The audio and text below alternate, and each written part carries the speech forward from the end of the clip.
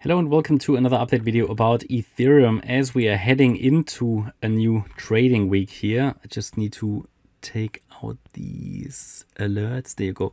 So as we're heading into a new trading week, um, it's going to be an interesting week. Looking forward to it. We've got the interest rate decision and we've got um, inflation data coming out. Still view this as a WXY structure. No change to previous videos. So context remains the same. So we just jump right into the lower degree wave count. And we have reached again the resistance area.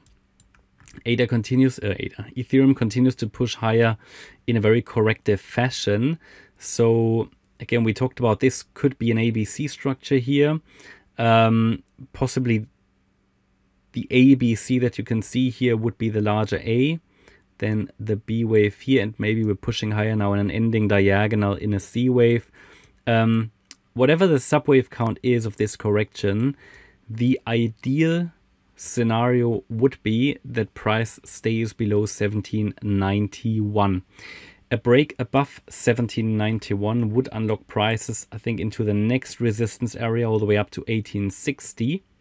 But it would not necessarily be bullish. But just be aware, as soon as we see an impulse here to the upside, and at the moment I don't see one, okay, this looks corrective still, yeah.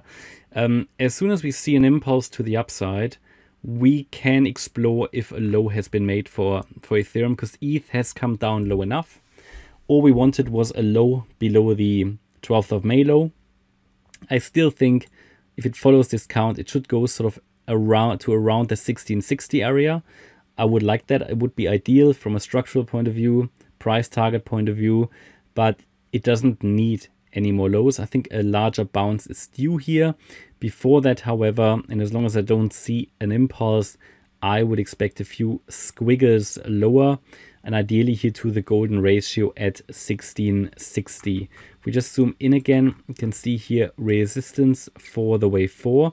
Um, also here, you know, if this really is an ending diagonal in wave C, it could get one more high or if it's a WXY, it might have topped already.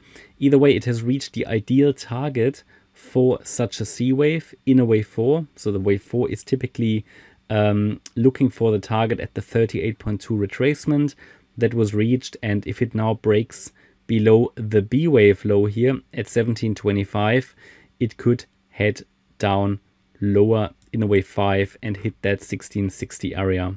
Yeah, so I'll keep you updated, but there is not much more to add at this stage. Um, we I want to have another look at the daily RSI because I still would like the RSI to go a little lower. So if we go to the daily RSI, it's still fairly high and it's lower than it was in May and April. It's only at 38. I mean, only. Yeah, I'd like to get, get it a little lower least closer to what it was on the 10th of March when we had the last time a bit of a spike to the upside, okay? So you can certainly push a little lower. Um, around about 32, 33 value would be good. And if price then is higher than the 10th of March, which was down here around 1370, which should be achievable, then this would be quite a bullish sign. So Still waiting here at the moment for a completion of the correction. At the moment I have no strong signs, but I think we have a very volatile week ahead of us. It will be interesting and I hope you all have a great start to the new week. Hope you liked the update. If you did, please hit the like button, leave a comment and subscribe. And if you really like the content, then please check out the channel membership. Thanks a lot for watching. Bye bye.